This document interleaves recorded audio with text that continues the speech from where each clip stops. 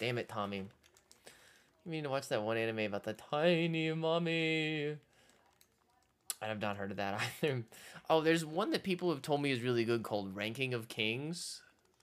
Um, Ranking of Kings is really, really good, supposedly. I know, I know. I.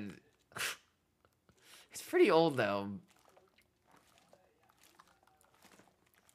Okay, that was pretty good. I myself not being a big fan of the shows everyone's obsessed with that season. Frankie shows not many people like for some reason. So Revenge of Contrarian Quicks. Well, I often find that Quix's takes in that in that department are um